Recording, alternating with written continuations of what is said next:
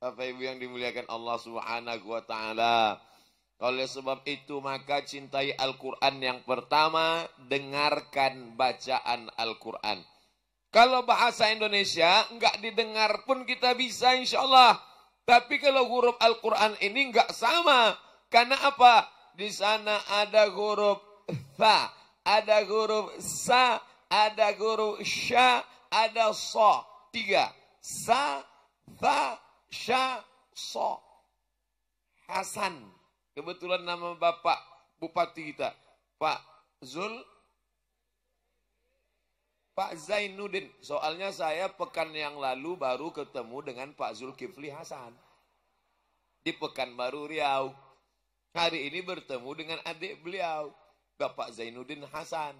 Mudah-mudahan nanti ketemu dengan orang yang nggak perlu nyebar duit sembako bisa jadi wali kota. Helmi Hasan. Ternyata trio Hasan ini trio maut. Koruptor takut. Orang nggak sholat takut. Orang nggak baca Quran takut. Nggak kampanye bisa jadi wali kota. Itu bisa perlu disosialisasikan itu. Yang baik-baik begini perlu diviralkan, betul? Tidak bagi sembako, tidak kampanye, tidak perlu masuk sana sini, tidak perlu nunjuk jangan jari satu, jari dua, jari tiga, jari lima. Cukup dengan pergi menapaki jalan Allah Rasulullah. Allah bukakan pintu hati umat. Allah yang memilih. Allah yang mengangkat. Tu'izzu man tasha. Wa tuzillu man tasha. Betul? Anda sumbang jalan karya indah atau koral satu truk? Enggak ada. Ada nggak Anda sumbang pasir satu truk? Enggak ada. Tapi hotmiknya kan sudah berjalan. Pertanyaannya, dari mana tuh duitnya? Dari APBD. Siapa yang tanda tangan APBD? Helmi Hasan. Kenapa Helmi Hasan tanda tangan APBD? Karena dia wali kota. Kenapa dia wali kota? Anda bantu dia. Ketika Anda bantu dia, dia jadi wali kota, dia tanda tangan APBD, dan kemudian jalan yang tadinya tanah jadi hotmik. Anda tidak bantu satu sen pun, tapi Anda bantu dengan tenaga Anda. Anda bantu dengan keringat Anda. Anda bantu dengan doa Anda. Maka jadi, sekarang ada. Otomatis Anda mendapat pahala kebaikan dari jalan itu. Allah. Kalau seluruh pahlawan kita dulu, saya akan perang kalau ada sembako. Enggak jadi menang kita perang kita, enggak merdeka kita. Saya mau menang kalau ada money politik, enggak akan menang kita merdeka. Orang pahlawan dulu mengorbankan diri harta waktunya untuk kemerdekaan. Boleh jadi mereka mungkin gugur di, di medan perang, tapi anak-anak cucu mereka merasakan nikmatnya kemerdekaan. Coba kalau semua pahlawan kita, tentara kita ngitung-ngitung. Saya mau perang kalau dapat sembako. Saya mau perang kalau dapat sarung. Saya mau perang kalau dapat uang. Bagaimana caranya merdeka?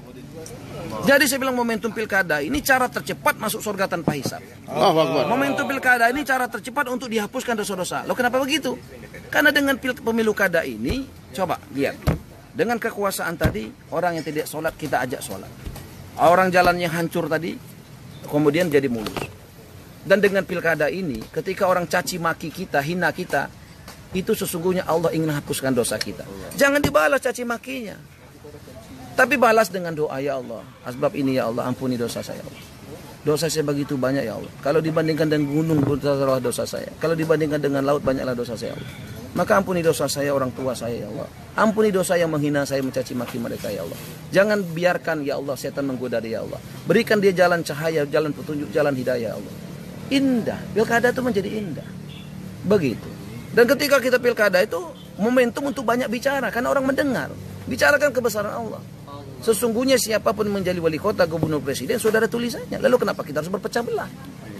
Lalu kenapa kemudian kita harus saling serang, saling fitnah, saling gibah?